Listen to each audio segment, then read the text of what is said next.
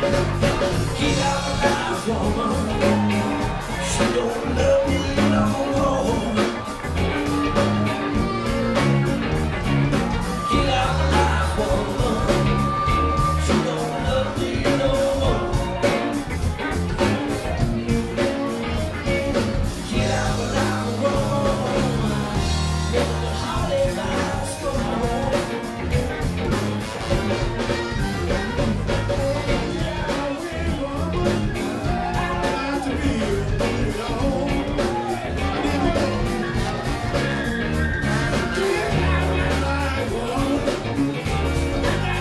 Yeah.